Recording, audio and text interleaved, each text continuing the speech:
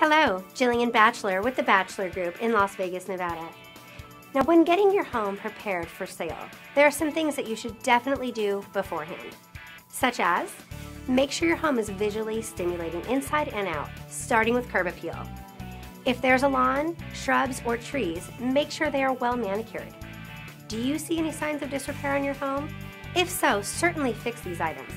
Items left unrepaired, so buyers see that as a lack of maintenance. And to them, that means more money out of their pocket, which means less money in yours. Take a good look inside your home. Strong curb appeal will lure the buyers inside your home, but it's your job to live up to their expectations. A clean home is essential. Windows, floors, bathrooms should all sparkle, and should so should your appliances.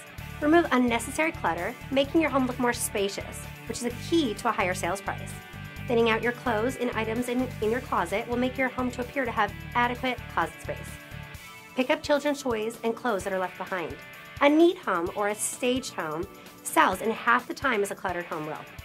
Be aware of any strong or offensive aromas in your home, such as cigarettes, pets, or strong cooking spices. These can be a strong turnoff to others. Ideally, popping in a batch of cinnamon rolls in the oven will provide a welcoming aroma.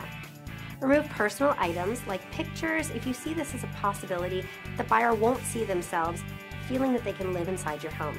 They don't want to feel like intruders. Leave your home when a showing if possible. This will allow the buyer to really take a look at your home and feel that the inside of this property is theirs. These tips and tricks will certainly yield you, yield you a higher sales price and a much quicker sale. For a full list of these items and many others, you can contact the Batchelor Group at 702 595 8036. Again, 702 595 8036. Or certainly visit us on the web at www.lasvegas1realestate.com. Again, that's www.lasvegas1realestate.com. Thank you.